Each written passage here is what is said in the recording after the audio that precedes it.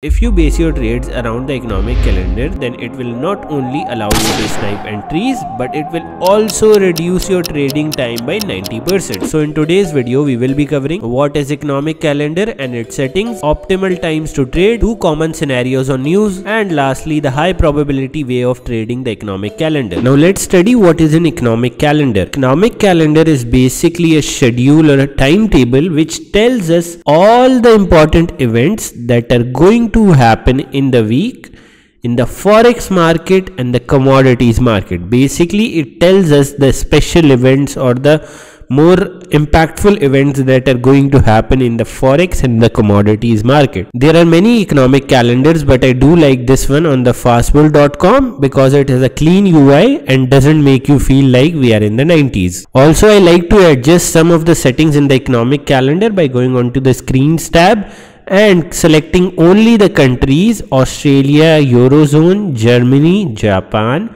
UK and US. Also I go to the more tab and select only the news that are of 2 star or 3 star.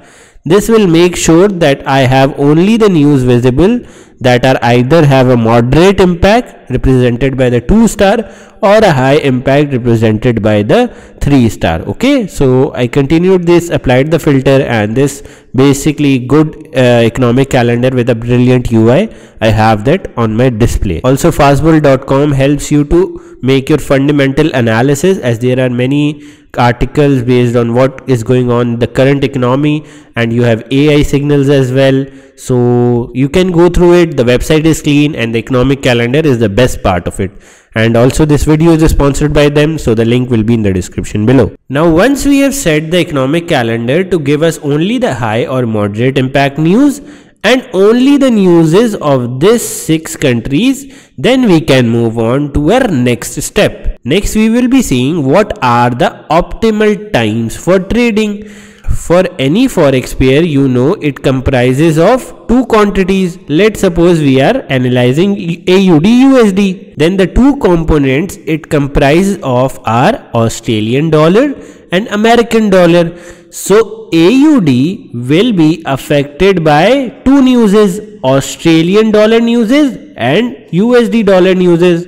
So any forex pair would be affected by newses of the two components which it, uh, which it is made up of.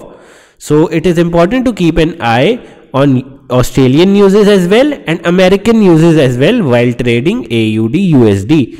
However, through back testing, I have noticed that always the USD or American newses will give you a higher probability setup compared to any other currencies news such as the Australian news in this case. So next up we will be seeing real-time chart examples. So the two common scenarios that happen on news are firstly we have the front running scenario. In this scenario price takes out the structural high or equal high just 5 to 15 minutes before the news. This is the keyword before the news. The liquidity gets taken out before the news and at the news we just have a one-sided move either up or down. So let's look at an example. Here you can see we had a euro news on 715 715 UTC UTC minus 5 and this is the fastbull economic calendar set according to the settings I have told you earlier. Now if I come to the Euro USD 1 hour chart I can see liquidity is resting on these 4 hour highs and it is resting at these 4 hour lows. Before the news just 15 minutes before the news here on the red arrow just 15 minutes before the news what would be the time? 700 UTC minus 5. At this time price came and took these highs. Here you can see on the red arrow and closed back inside the range. Then what happened at the news? At the news we only had a one-sided move towards the downside. So whenever you observe in the market that the liquidity liquidity gets taken gets taken just before news then just before news then it is wise to place your trade before the news with a hard stop above the highs. Okay you can see the liquidity got taken before the news and we placed a short trade and netted a 4 to 5 R. So as a basic rule that I have implemented in my trading, if the liquidity of the highs get taken just 5 to 15 minutes before the news, I like to place the trade before the news.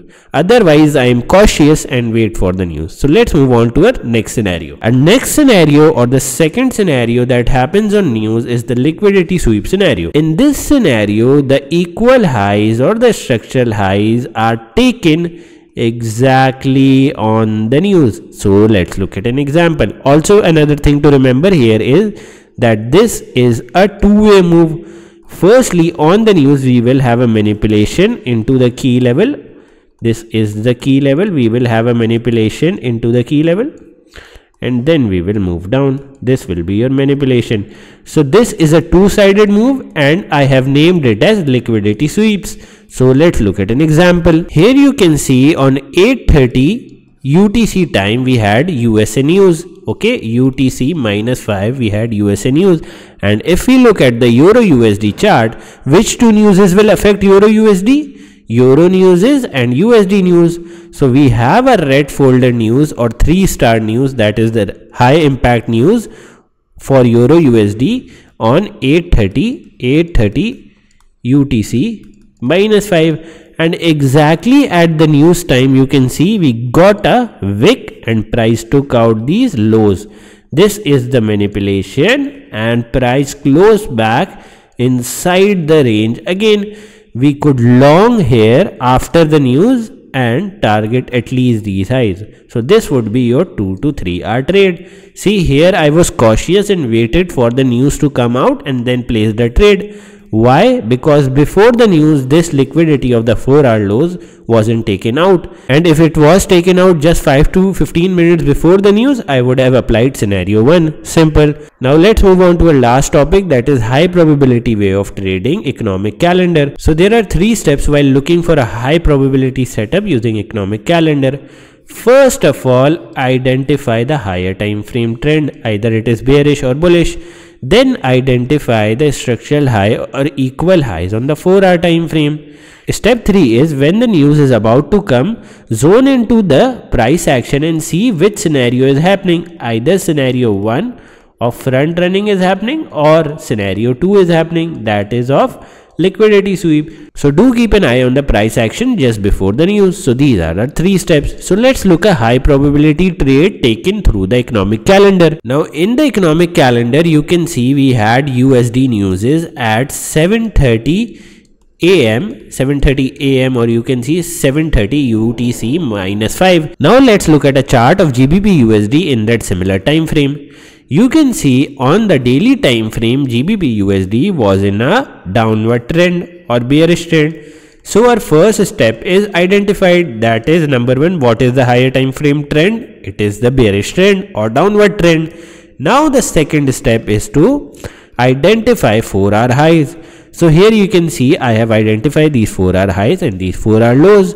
Now as the news arrived on the green arrow, what is the time on green arrow? 730 UTC minus 5 as you can see the news was also came out on 730 UTC minus 5 as the news arrived on the green arrow price took this liquidity on these highs and closed back inside. So this could have been a valid short for 3 to 4 R trade. Now here too you must note an important point that I didn't took a trade before the news. Why? Because this liquidity was intact and the front running scenario was invalid. Scenario 1 was invalid here. And which scenario is this? This is scenario 2 that is of liquidity sweep. And what is the manipulation? This wick is the small manipulation that happened on the news. So i hope the lecture was clear. If you want to watch more ict simplified videos you can click on the lectures on the right hand side